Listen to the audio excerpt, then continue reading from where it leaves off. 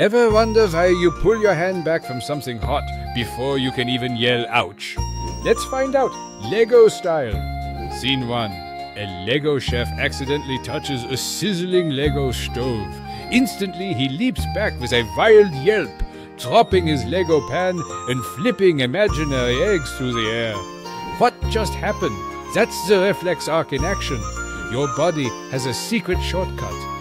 When you touch something dangerous, nerves in your skin send a super fast signal straight to your spinal cord, skipping your brain entirely. Scene 2. Inside the Lego chef's body, Lego nerve messengers zip down a track, crash through a Lego gatekeeper at the spinal cord, and launch the Move Now order right back to the muscles. This rinse lightning fast loop means your hand jerks away before your brain even knows you're in trouble. It's like your body's own emergency exit plan, designed to keep you safe without wasting a second.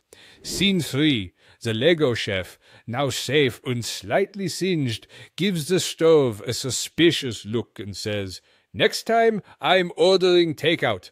That's how your reflex arc keeps you safe. No thinking required, just instant Lego action.